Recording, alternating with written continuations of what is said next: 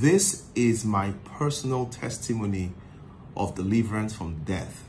You know, first of all, I want to thank all of you that have sent me messages and all of you that have shown worry and concern. I want to let everyone know I am alive, I am well, and I am not hospitalized in any way. Now, this is the background of my testimony.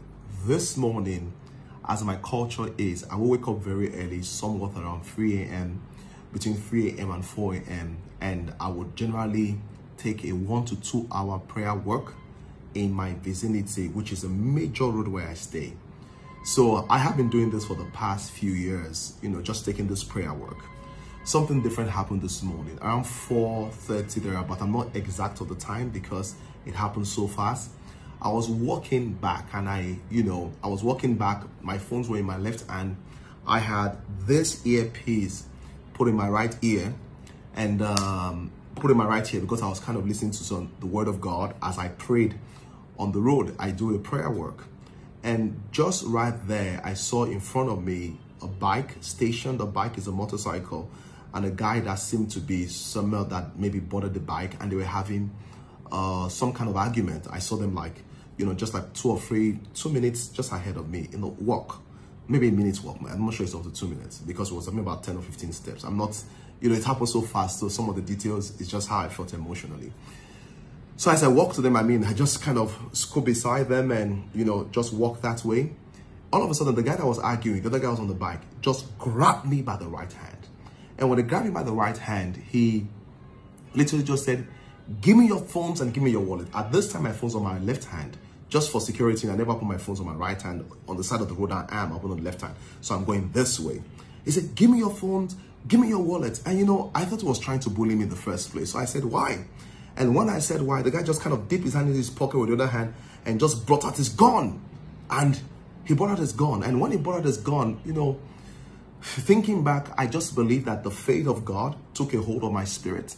And when he brought out his gun, I did not premeditate this because if I did, my life is more important than a phone. I'll probably have just given him my phone. And when he brought this phone, I just said in the, I just did a big shout. And when I say in the name of Jesus Christ, I normally would raise up my hand. I just said in the name of Jesus. And as I did that and pulled my hands down, I kind of snapped his hands, um, his hands off my wrist. And when I did that, he just took the gun and just shot at me. All I could remember, he shot at me, jumped on the bike, and the bike drove off. All I remembered was that I had this huge noise. I knew that there was a gunshot at me. The, of course, the gun blast and the huge noise within my right ear, which was just where it was.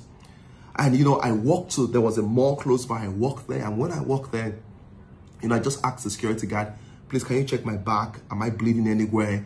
Is, is, is there any pallets? Because I, you know, it was almost as if I knew gun was shot at me you know, and that is the story of my deliverance. And the, the guy checked me and said, Oh, you're okay. There's no God. And you must understand this. How does someone go three or four meters or five meters away from you and shoot at you and miss you? In fact, one of my friends from the US, when I shared with him, told me, he said that I don't believe the guy missed you. I believe that he shot at your head, but the Spirit of God revealed to him an angel was there that diverted the bullet. You know, there are just many things to say. And the reason I'm putting out this video is firstly to let everyone know I'm safe and I've been delivered by the angel of God. And to tell people this, please take a moment, take a moment and thank God for me because I could have been in the mortuary right now with a bullet right in my head. You know, I, I look back, when I came back home for like one hour, I felt the vibration. Of course, everybody around me knew gun was shot. And you know, when I got back, you know, it was amazing because it was the year he shot that I had this earpiece inside. I, I, didn't even I didn't even realize the earpiece was inside. If the earpiece was not in my ears, maybe my ears will have further amount of damage. You know, it's amazing because two things are very amazing about this. Number one, before I left the house this morning, I was going to give thanks to God. And one of the affirmative prayers I prayed was that God said, What are you thankful for today? And I'd just done some medical tests, just checking up my body, you know, for the first time in a long time. And, you know, I just felt to God that, oh my goodness, Lord, thank you for good health. The doctor ran all manners of tests on my body, nothing significantly wrong with my body, nothing that requires some medication. I said, Lord, I'm thankful. So this morning around 3 a.m., I was just saying, Lord, I'm thankful for life and health. not knowing that that prayer was prophetic because in the next few minutes I will be attacked by, you know, literally death. And my wife was saying to me that just a day before she had a huge urge to pray against that. And this is also the reason why I'm saying this.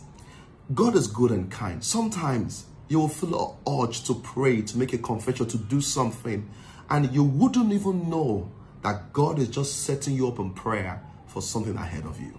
You may not even notice when it comes and goes because it's not as dramatic as my own. So I'm taking a moment to just thank everyone. I will post a video attached to this one telling you the exact story, how this happened and how I was in the moment. Watch it please put in the comment section, thank you, Jesus, for this miracle. Because this didn't happen because I'm the man of God, I have great faith, and I'm a pastor, and I'm holier than thou and righteous. This is just the grace and the mercy of God.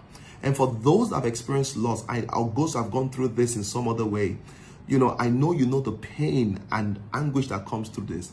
And that's why I'm saying that thank God that God showed me his grace. Listen, I'll teach about this later on today. Tomorrow, next level prayer. We're going to spend time thanking God and just praying over this. I'm grateful. I hope you're grateful for me. Thank you for listening and God bless you.